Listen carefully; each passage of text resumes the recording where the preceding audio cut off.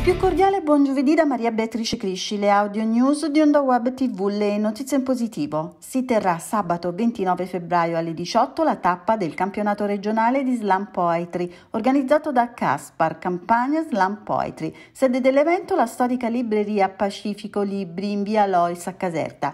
La competizione si basa su una sfida in versi tra poeti e autori, dei testi in gara e sul voto del pubblico presente in sala, che avrà anche il ruolo di giuria.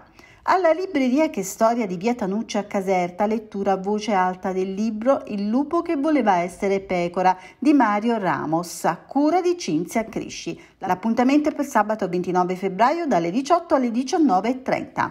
Ancora sabato al Planetario di Caserta in via Ungaretti lo spettacolo La Fata della Notte più una visita al percorso museale dalle 19.30 alle 20.45. Ed è tutto da Maria Beatrice Crisci, un grande abbraccio e una raccomandazione. Seguite le notizie in positivo su ondawebtv.it. Le audio news sono offerte da Tre Farine Racconti di Gusto.